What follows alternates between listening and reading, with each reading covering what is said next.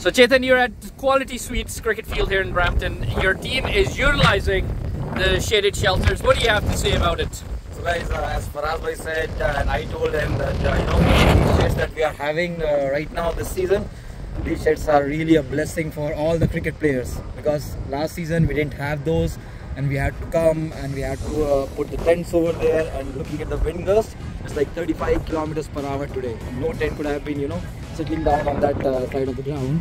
So you know, total blessing for us, saving us from sun, saving us from wind and from the rain. So we are really lucky and really, really blessed. Thank you so much.